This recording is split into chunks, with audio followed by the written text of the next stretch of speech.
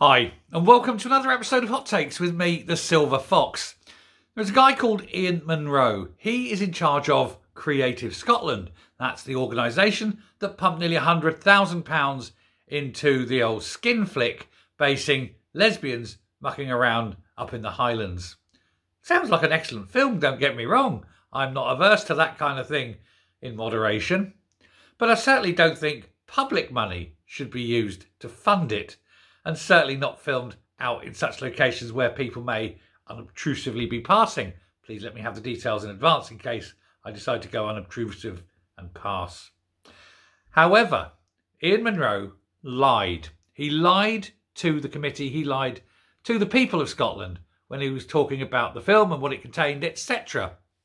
Angus Robertson, for whom is responsible all these things, has decided it is in the interest of the Scottish people to not fire Ian Munro and let him carry on with his very, very highly paid Quango job, even though he lies and spends money incorrectly and immorally.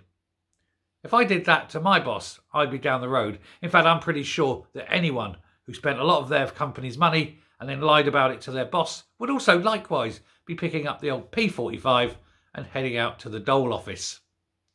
Not in Scottish politics. No, no, lying and stealing is perfectly acceptable so long as you obey the 11th commandment. Not don't get caught, that goes without saying. It's the thou shalt be a member of the SNP. And that way, all your sins are forgiven. Deary me, what a world. Anyway, thanks very much for listening. Take care and goodbye.